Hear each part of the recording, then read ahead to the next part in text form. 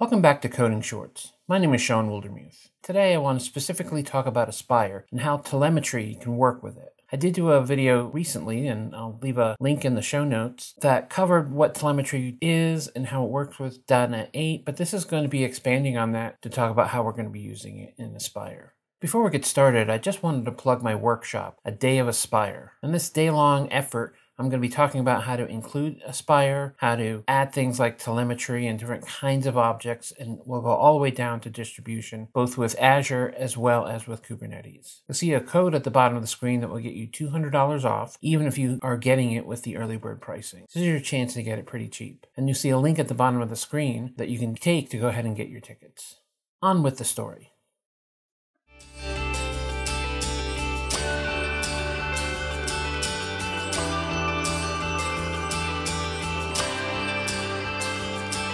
So I'm back here in Visual Studio, like I always am, and we have a couple of things in here that I want to talk about. We still have that API project, and we still have this host project, but I want to create something that we can use in multiple places. Now right now I only have one .NET assembly, so this may not seem as useful, but we're going to quickly ramp this up, probably in the next session where I add a bunch of different other services, like RabbitMQ, and probably SQL Server, and some other pieces, so we can see how they're all going to work together. So what I'm going to start with is actually just to create a new file here in the common project. And I'm going to call it service defaults. So you can call it anything you want. And all I'm really going to do here is I'm going to make this a public static class, mostly because I'm just going to create extension methods in here. I could have called it service default extensions or whatever you want. I'm not too concerned with that. And we're going to create a static object that returns a host application builder. This is a class that the builder is when you create a new web project. And all I'm going to say is configure this iHost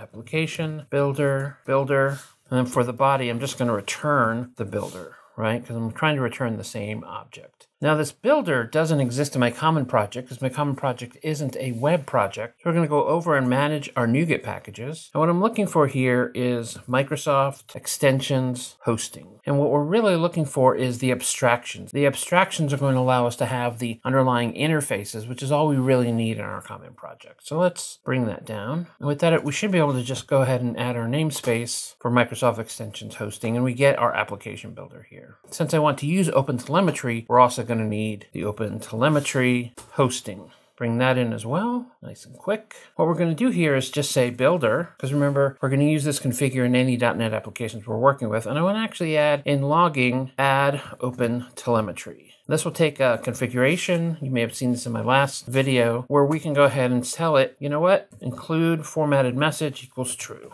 So we're just configuring it to say, go ahead and use any OpenTelemetry log messages and go ahead and spit that out into the logs that are wired up. And by default, that's going to be console where we can see some of those. Next thing we're going to want to do is look at our services and add OpenTelemetry. And we're going to specifically add with metrics and with tracing. Now, what does this really mean? This means support OpenTelemetry, and I am going to have some metrics, so to see how an application is performing, as well as being able to see tracing across an application. We also want to include some ASP.NET metrics in our project. And so we're going to need yet another NuGet package. This time, that's going to be OpenTelemetry again, but I'm looking for instrumentation ASP.NET Core. This is specific instrumentation that will take normal characteristics of ASP.NET and allow us to monitor those as well. Now that we have have that. In the tracing, we're going to configure this, just like we did last time. And we're going to say configure add ASP.NET core instrumentation. And let's go ahead and bring that in by telemetry trace. And this will automatically set up any instrumentation into each trace that is specific to ASP.NET. So you're going to get whether a post or a put or a get or whatever was called into our tracing. And in metrics, we're going to do something pretty similar, but instead of bringing in and calling extension methods, we're going to configure and we're going to add meter. And we're going to give it a list of three meters that are known in the ASP.NET instrumentation. So it's going to be Microsoft. They're to be based on namespaces. ASP.NET Core.hosting, Microsoft.ASP.NET Core.server.kestrel. That will give you some of the semantics of requests and responses. We're also going to say system.net.http. This will be the actual HTTP stack that adds some meters as well. And so we're only adding the ASP.NET Core instrumentation here.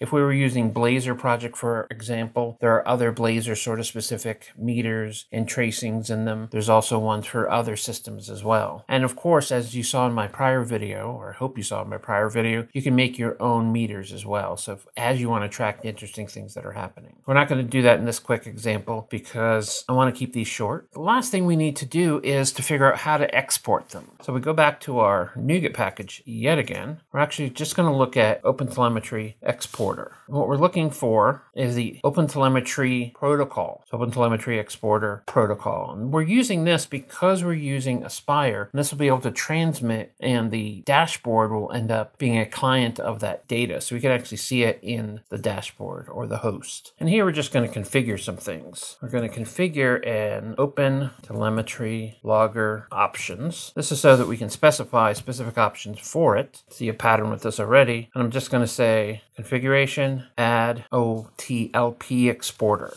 Now the dashboard is going to use this, or the host is going to use this to be able to gather information. Though one of the ideas behind this, which again, if you saw my other video, you know this already, is that this is really allowing you to configure any sort of endpoints. Now the ones I'm adding here are specific to Aspire, and they really should just be for development and debugging. You really need a real provider out there to gather that information, whether that's something in Azure or some third-party logging system, but you're going to want those. But for now, I'm just interested in how this works with Aspire. So I'm going to configure another one. And here we're going to call configure open telemetry, and you'll see one for tracer and meter provider. So let's do meter first. And notice these are using extension methods where this configure is just specific options object inside the service collection. And so here we're going to say add OLTP exporter. You might be thinking, well, this sounds really familiar, and it is. It's the same thing you're going to do for each of these. And instead of meter, this is going to be tracer provider. If we build it, it should build correctly, though we're not really using it yet. Because what we need to do then is go to the program of all of our .NET apps. Go in here to program, and I can just say builder.configure.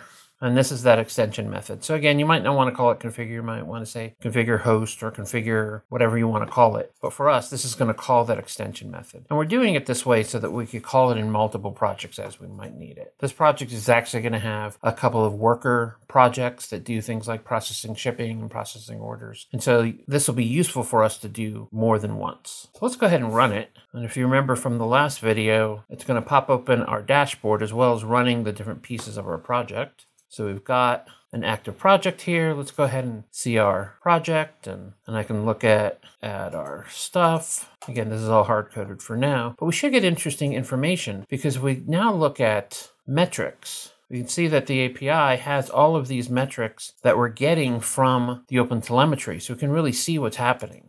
Not all of them have great data yet, but as this runs longer, you'll be able to see those metrics. In the same way, you should be able to see these traces as well. So if I view this trace, this one took a third of a second, I can really see that what is happening here is this is called to get products. This is all the information about that call. We go back, we can see that post that happened and view it as well. And if this called other systems, we'd actually be able to see the trace detail as it called different parts of our operation. And remember, because this is open telemetry, if you're using third-party pieces like RabbitMQ or Redis, those are going to also be able to spit out that information into the metrics and the tracing so you can see how the whole system is working together. So this just isn't about how you're defining your applications, your microservices as complex deployments, but also for being able to see how those deployments are actually working together. Make sense? Again, I'll put in the show notes a link over to this example where we're at at this point, and so you can see what the code is actually doing.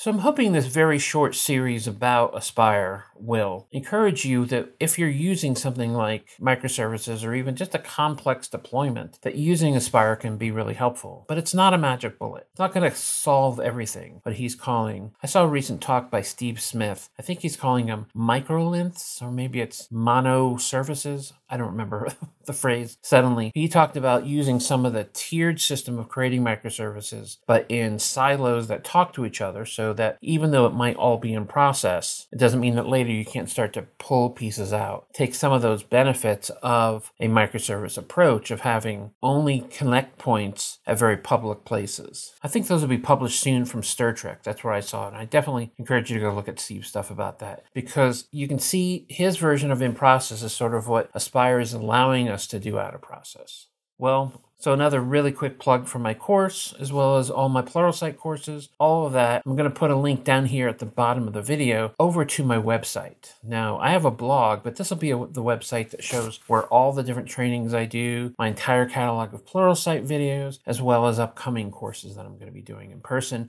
and remote. So thanks for coming. Like and subscribe as always, and I will see you next time on Coding Shorts.